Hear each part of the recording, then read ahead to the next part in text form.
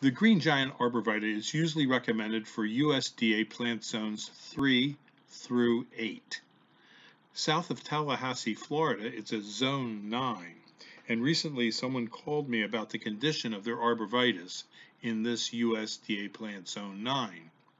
So I took a look at his pictures that he sent to me of the arborvitaes. And from a distance, the arborvitaes look very good but up close on inspection, there's a lot of yellowing on the interior. And I explained to him that this is normal for arborvitaes in the winter. It's This picture was taken in December. They were planted last January. So the trees are doing well. And it's just a normal fall needle loss on the arborvitaes that he's seeing. I asked the man, how well did they grow? He bought them in in January and planted them in February, and they started off as a five foot tree.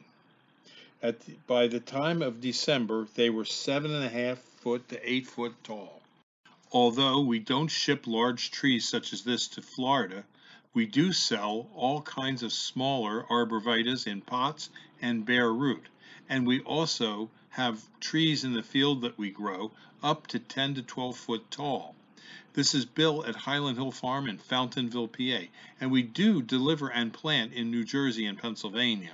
So if you need green giants or you have questions about growing green giants or other trees in your plant zone, give us a call at 215 651 8329.